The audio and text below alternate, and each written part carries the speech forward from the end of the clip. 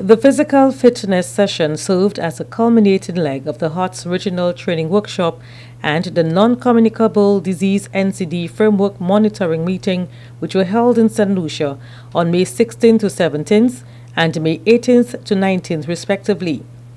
Representatives of over 17 countries converged in St. Lucia over the four days to dialogue on the current realities associated with non-communicable diseases and to map the way forward as governments in the region look to improving healthcare. The workshops were held in collaboration with PAHO and WHO. HEARTS is a program aimed at blood pressure control and cardiovascular risk reduction. Physical exercise is one of the recommended daily activities in combating hypertension, also referred to as high blood pressure, often a lifestyle related medical condition.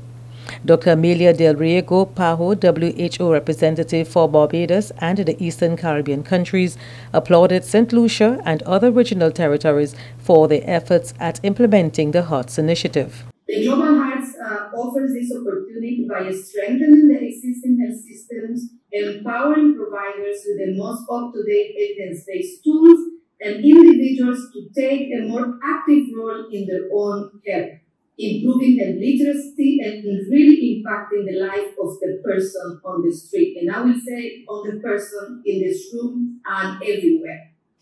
Minister for Health, Wellness and Elderly Affairs, Honorable Moses Jean-Baptiste, who delivered the feature address at the opening of the workshop, spoke on strengthening primary care for advancing the management of non-communicable diseases.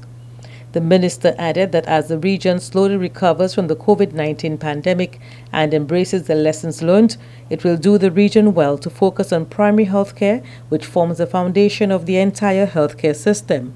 Strengthening primary health care, he asserts, is making a positive dent in the prevention and treatment of diseases within communities. From the experiences gained during the COVID 19 pandemic, we see the need for change and the need to come together as we use best practices to build stronger primary healthcare systems which respond to the challenges posed by NCDs and their risk factors. As mentioned previously, primary care must be patient centered. Patients must be at the core of what we do. As we move towards decreasing the burden of NCDs, we must ensure that no family is driven into poverty because of illness. Healthcare must be affordable, and the necessary partnerships through social insurance schemes must be fostered and strengthened so that everyone has equal opportunity to care and to get essential drugs and services. In St. Lucia, NCDs contribute to 82% of mortality annually, according to the health minister, through St. Lucia's implementation of the Performance Based Financing Project PBF. Different health regions will have free access to medication and lab testing during the first level of care for people living with NCDs. During the workshop, several healthcare practitioners received training in the HEARTS modules and cardiovascular risk management CVRM facilitated by PAHO. From the Communications Unit of the Ministry of Health, Wellness and Elderly Affairs, Julita Peter reporting.